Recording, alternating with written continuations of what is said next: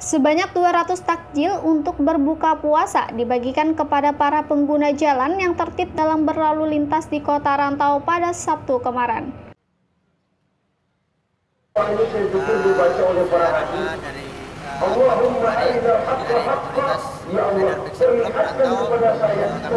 dari komunitas dari baik dari Kabupaten Tapin dari MNEK SRNC dari Sekupi Tapin dari R, R, R15 Tapin sama BIN Tapin uh, pada hari ini beserta teman-teman uh, adik dari uh, kepolisian Kabupaten Tapin membagikan sedikit uh, takjil kepada pengguna kedua di jalan raya.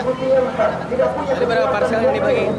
Uh, Alhamdulillah parcel pada sore ini kami kumpulkan sebanyak 20 buah dan alam, eh, 200 buah dan alhamdulillah terbagi semuanya. Mulai jam berapa tadi? Ya, kegiatan kami mulai dari jam uh, 5 sore tadi sampai sekarang uh, Ya harapannya? harapannya uh, semoga apa yang kami sisihkan dan apa yang kami berikan kepada saudara-saudara pengguna jalan raya khususnya kendaraan roda dua bermanfaat bagi mereka dan uh, timbalan bagi kami amal ibadah pahala yang berganda itu aja. Sementara itu, Ibda Hero Asharudin mengatakan dalam satu agenda Satlantas beserta komunitas sepeda motor Membagikan takjil kepada pengguna jalan raya ini juga sekaligus mensosialisasikan kepada mereka untuk taat dan tertib berlalu lintas dengan memberikan papan himbauan agar pengendara dapat berhati-hati dan selamat sampai tujuan. Saat ini Mas kami lagi mengadakan ya istilahnya bakti sosial, uh, tapi ini kami laksanakan dengan bentuk pembagian takjil kepada seluruh pengguna jalan yang melintasi pos pelayanan kendaraan tulang ini. Tujuan kami apa? Mereka-mereka yang mudik ini biasanya belum sampai tempat tujuan mereka sudah mari bulan sehingga ada bekal untuk di jalan supaya tenaganya ada lagi untuk mengurangi rasa letih atau mengurangi rasa kantuk. Laksanakan berapa hari nih?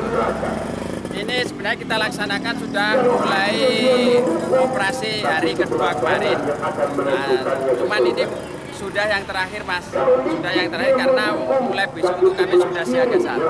Jadi untuk pembagian tadi kegiatan yang terakhir. Tujuan kami adalah untuk upaya menanggulangi terjadinya kecelakaan ya kami sambil memberikan penyuluhan pengertian terutama pada pengguna jalan yang memakai mengendarai roda dua agar selalu berhati-hati mentaati segala ketentuan atau peraturan lalu lintas. Personilnya Pak? Untuk personilnya yang dari lalu lintas ini sekitar ada 10 orang, kemudian dari dinas perhubungan, dari dinas perhubungan ini ada empat orang, kemudian dari Pol PP ada enam orang, terus dari rekan-rekan komunitas roda dua yaitu Vixen dan yang lainnya.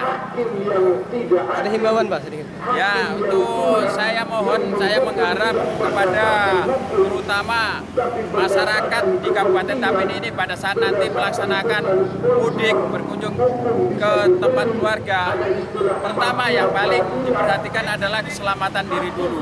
Bagaimana caranya?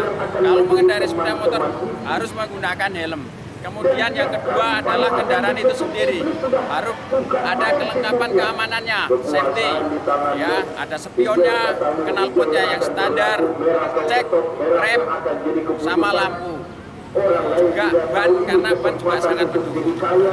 Selain itu, sosialisasi taat berlalu lintas dengan membagikan takjil ini pun merupakan momen yang bagus, di mana pihak kepolisian dengan para pengguna jalan bisa nampak akrab.